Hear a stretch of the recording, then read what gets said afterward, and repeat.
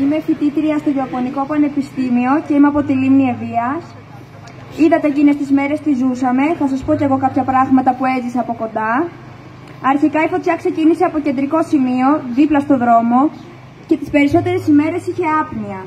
Η φωτιά έκαιγε ολόκληρες μέρες και νύχτες, δίχως αέρα, ωστόσο όλες οι προσπάθειες να σβηστεί παρέμειναν άκαρπες γιατί οι πυροσβέστες και ήταν ελάχιστοι χωρίς εξοπλισμό για τους ίδιους, αλλά και για τα οχήματά τους.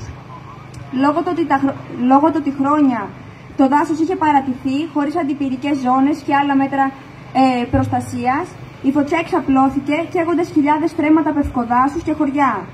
Δεν μείναμε μες σταυρωμένα τα χέρια.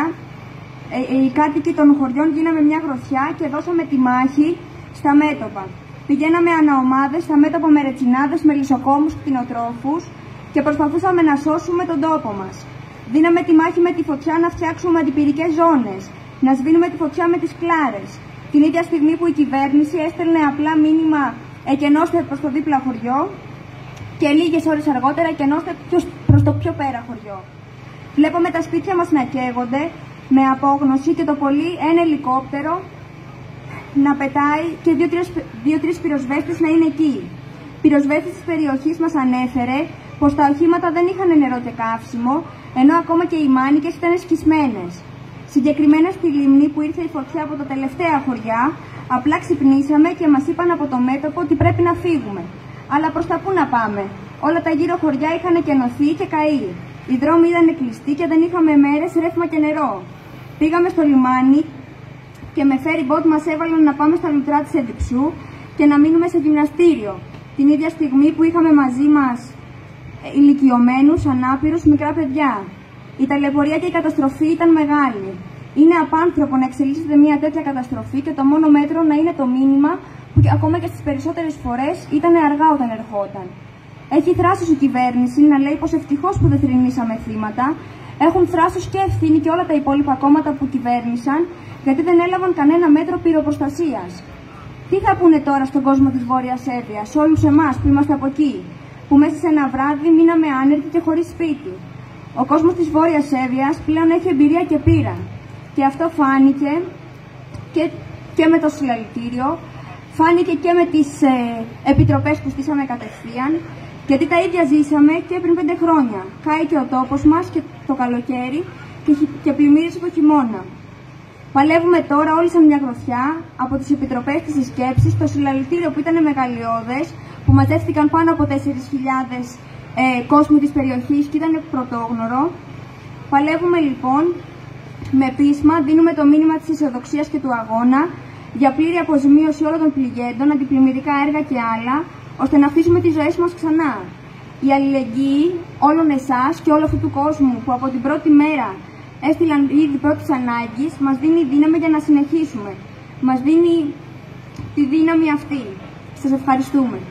Ε, εκ μέρους της εθελοντικής δασοπροστασίας του Δήμου Κεσαριανής, θα ήθελα καταρχάς να χαιρετήσω την απόψινή εκδήλωση που δείχνει έμπρακτα το ενδιαφέρον όλων σας για αυτό που ζήσαμε και δεν θα θέλαμε να ξαναζήσουμε για αυτές τις ε, φοβερές πυρκαγιές και την ανίποτη καταστροφή που υπέστη ο τόπος μας. Μπορεί να μην ήταν στην Κεσαριανή, φτου φτου, αυτή η καταστροφή φέτος, αλλά δεν ξέρουμε ποτέ αν θα είναι αύριο, αν θα είναι του χρόνου και γι' αυτό πρέπει να έχουμε συνέχεια το νου μας. Η εθελοντική δασοπροστασία Δήμου Κεσαριανής ξεκίνησε το 1985 με πρωτοβουλία του τότε Δημάρχου, του αέμνηστου Παναγιώτη Μακρύ, ο οποίος ζήτησε από κατοίκους της Κεσαριανής να ανέβουν στο βουνό για κάποιες μέρες, διότι υπήρχαν απειλές ότι θα το κάψουν. Γρήγορα όμως κατέστη σαφές ότι το, το δάσος της περιοχής μας, το βουνό μας, χρειάζεται σε μόνιμη βάση κάθε χρόνο, κάθε καλοκαίρι που είναι επικίνδυνα τα πράγματα, ε, την περιφρούρηση των εργαζομένων, των κατοίκων της περιοχής. Και έτσι, από το 1985 σιγά σιγά στήθηκε αυτή η ομάδα, ακολούθησαν και άλλες. Τα λέω όλα αυτά γιατί ε, ήδη αρκετούς από εσάς βλέπω, ε, οι οποίοι όλο αυτό το διάστημα, το πολύ δύσκολο του Αυγούστου που περάσαμε, κάνανε περιπολίες εδώ, κάνανε στην Πανεπιστημίου και σε άλλες περιοχές και άλλα δάση ε, της πατρίδας μας ώστε αν ε, γίνει τίποτα τέλος πάντων να ειδοποιήσουν έγκαιρα. Και σε κάθε μεγάλη φωτιά επίσης παρουσιάζεται ένας τεράστιος αριθμός ανθρώπων οι οποίοι πραγματικά θέλουν να βοηθήσουν. Το πρόβλημα ποιο είναι εκεί; Ότι εκείνη την ώρα δεν μπορεί με ασφάλεια να πάει κανείς στη φωτιά αν δεν έχει εκπαιδευτεί, δεν έχει τα κατάλληλα μέσα. Σας καλώ λοιπόν όλους, επειδή δεν θα έρθει κανένας, δεν ξέρω, έτσι από πάνω, ε, ό,τι και να λέγεται αυτό, να μας σώσει όταν θα γίνει το κακό. Σας καλώ να εκπαιδευτείτε, σας καλώ να πυκνώσετε τις τάξεις του εθελοντικού κινήματος, του γνήσιου εθελοντικού κινήματος και να είμαστε έτοιμοι για την επόμενη φορά. Και, να, και, και επειδή σας είπα και έτσι, για το γνήσιο εθελοντικό κίνημα, θα, θα μου αφήσετε να σας πω κι άλλη μια κουβέντα τι εννοώ. Ε, εμείς είμαστε πάνω όχι για να μπαλώσουμε την τρύπα κανενός μηχανισμού, όχι για να αντικαταστήσουμε θέσεις εργασίας, είμαστε πάνω γιατί τους φοβόμαστε. Γιατί τα αποτελέσματα τα βλέπουμε όλοι. Πρέπει εμείς οι ίδιοι, στο βαθμό που μπορούμε, να φυλάξουμε αυτό τον τόπο, τις πεζούλες μας. Αυτά. Να είστε καλά, καλά να περάσετε και ελπίζω να σας δώσω το βουνό. Καλησπέρα και από μένα. Πριν αρχίσω, επειδή βρισκόμασταν εδώ πέρα από τις 4 η ώρα και προσπαθούσαμε να στήσουμε το χώρο, οφείλουμε όλοι να πούμε ότι σήμερα πετυχαίνει η συναυλία των φοιτητικών συλλόγων κόντρα στις προσπάθειες εδώ πέρα της Δημοτικής Αρχής που έφερε μετά από συνεννόηση τα ΜΑΤ μπήκανε μέσα με αστείες δικαιολογίες περί αντιπυρικής προστασίας κτλ. Λες και ας πούμε τα γκλόπ τους θα τη σβήσουν τη φωτιά και δεν χρειαζόμαστε πυροσβέστης εμείς στο σκοπευτήριο και ενώ είχαμε έρθει σε συνεννόηση και ήταν προσκεκλημένοι εδώ πέρα η εθελοντική νοσοπροστασία και Σαριανής. Νομίζω ότι φαίνεται ξεκάθαρα ο, στο, ο σκοπός τους, ο σκοπός της κυβέρνησης, νομίζουν θα τα βάλουν και μέσα στις σχολές μας, αλλά είναι πολύ γελασμένοι και θα μας βρουν μπροστά τους από Σεπτέμβρη.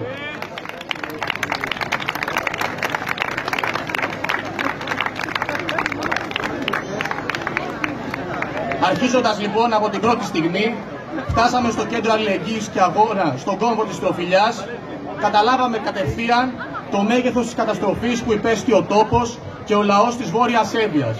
Παντού γύρω μας υπήρχαν κατα... κατακαμένες εκτάσεις, συνοδευόμενες φυσικά από την αντίστοιχη μυρωδιά.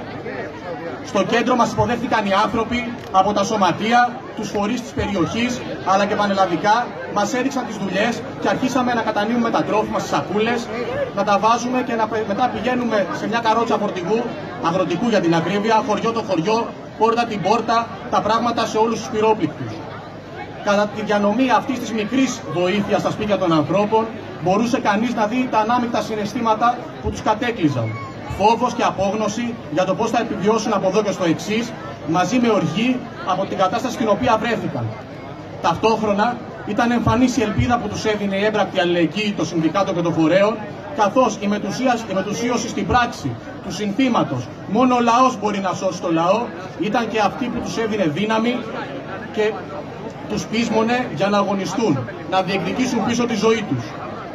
Όλοι οι κάτοικοι της Βόρειας Σέρβιας έχουν αγκαλιάσει το κέντρο αγώνα και αλληλεγγύης και ο καθένας με τον τρόπο του και από το μετερίζει του βοηθάει όπως μπορεί. Από το να φτιάξεις φαγητό για έναν λόγο αν θέλετε, μέχρι να βοηθήσεις τις κατανομές των προϊόντων. Αυτή λοιπόν η πραγματικότητα στη Βόρεια Εύβοια. Ότι ο μόνο λαός παλεύει, μόνο ο λαός σώζει, μόνο ο λαός διεκδικεί. Και δεν θα μπορούσε να είναι κι αλλιώς αφού όπως οι ίδιοι άνθρωποι αναφέρουν, όλοι οι κρατικοί φορείς, διοικήσεις δήμων, περιφέρειας ή οι κυβερνήσεις έχουν τον τόπο παρατημένο στην τύχη του. Γι' αυτό και όλα οι κάτοικοι έστησαν μόνοι τους τις επιτροπές των πυλόπληκτων.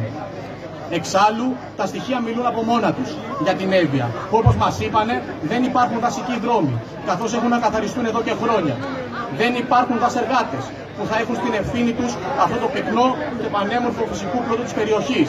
Με αποτέλεσμα να μην έχει καθαριστεί το δάσος, να υπάρχουν άβατα σημεία γεμάτα ξερόχορτα που ανα πάσα ώρα και στιγμή θα μπορούσαν να προκαλέσουν αιστείες φωτιάς, όπως και έγινε εξάλλου πριν από λίγες μέρες. Ακόμα αναφέρουν όλη τη γύμνια του πυροσβεστικού σώματος που αφενός έβλεπαν τους ανθρώπους να παλεύουν με τις φλόγες, αλλά αφετέρου με τέτοιο εξοπλισμό, απαρχαιωμένο, με τέτοιε ελλείψει στο σώμα, δεν μπορούσαν επουδενή να αντιμετωπίσουν την κατάσταση. Γεγονός που γεμάτη απογοήτευση αλλά και θυμό μας ανέφεραν και πυροσβέστες που βρήκαμε σε κάποια χωριά. Συσσωρευμένη οργή υπάρχει και για τον τρόπο με τον οποίο πρακτικά ξεριζώθηκαν από τα σπίτια τους τις μέρες των πυρκαγιών με τις περιβόητες εκενώσεις.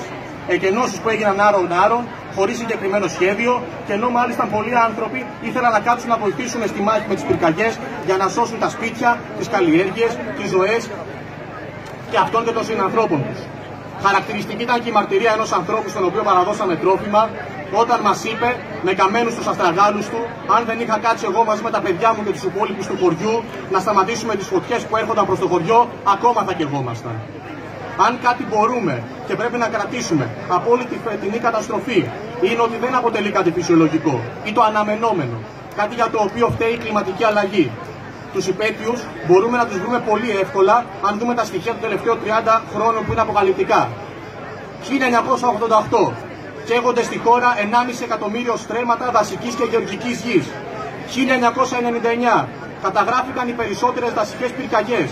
2000 η μεγαλύτερη καταστροφή με 1,6 εκατομμύρια στρέμματα να έχουν κατακαεί. 2016 μέχρι και σήμερα από τα ταμεία των κυβερνήσεων δίνονται 1,6 με 1,7 εκατομμύρια κατά δασαρχία και τα αντιπηρικά έργα όλης της χώρας. Ενώ τα τελευταία ζητούν 17 εκατομμύρια. Ο μέσος, όρας, ο μέσος όρος ηλικίας των πυροσβεστών είναι 45 με 50 έτη και το 14% των πυροσβεστικών οχημάτων βρίσκεται εκτός λειτουργίας με βλάβες. Στην Αττική φέτος δόθηκαν μόλις 30.000 ευρώ για δασικούς δρόμους. Εμφανές λοιπόν το έγκλημα, εμφανής και η πέτρη. Η πολιτική των κυβερνήσεων τόσα χρόνια που με διάφορα προσχήματα, θεωρώντας τη διατήρηση και την προστασία των δασών μας κόστος, δίνουν για τα δάση που αποτελούν το 65% του εδάφους της χώρας, μόνο το 0,04% του κρατικού προπολογισμού. Αντίστοιχα και για την αποζημίωση των ανθρώπων των πληγέντων περιοχών, που όπως μας είπαν πάλι οι ίδιοι οι κάτοικοι είναι για γέλια, καθώς ακόμα και αν δικαιούσε αποζημίωση, μετά από μια εξαντλητική γραφειοκρατική διαδικασία, αυτό που παίρνεις είναι σταγόνα στον ωκεανό των αναγκών σου.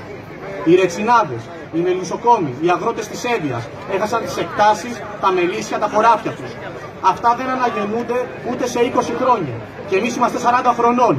Πώς θα δουλέψουμε για να ζήσουμε εμείς και οι δικοί μας, ανέφεραν όλοι τους γεμάτοι άγχος για την επόμενη μέρα. Γνωρίζοντας ότι δεν έχουν τίποτα να περιμένουν από τους παίκτες της καταστροφής. Αυτό είναι το κράτος τους, επιλεκτικά ανίκανο, μας αφήνει απροστάτευτους μπροστά στις φυσικές καταστροφές, αλλά όταν πρόκειται να εξυπηρετήσει τα συμφέροντα των ομίλων, ικανότητο, ικανότατο. Λίγες μέρες μετά τις καταστροφές να συζητάει για νονούς και αναδόχους των καμένων δασών, στρώνοντας τις business για νέες επενδύσεις, που μόνο πράσινες δεν θα είναι. Το μόνο που ξεχώριζε από όλους εδώ στα λόγια τους είναι ότι δεν θα μείνουν με τα χέρια σταυρωμένα και τα κεφάλια σκυμμένα, ενώ χάνουν τις περιουσίες και τις ζωές τους. Για τους ανθρώπους της Εύβοια, το συλλαλητήριο του προηγούμενου Σαββάτου στον κόμμα της Τροφιλιάς, συνολικά οι δράσεις του προηγούμενου διαστήματος αποτέλεσαν μονάχα την αρχή του αγώνα, του αγώνα τους. Για καθολική αποζημίωση, για αντιπλημμυρικά έργα, για διάσωση και προστασία του φυσικού πλούτου της περιοχής.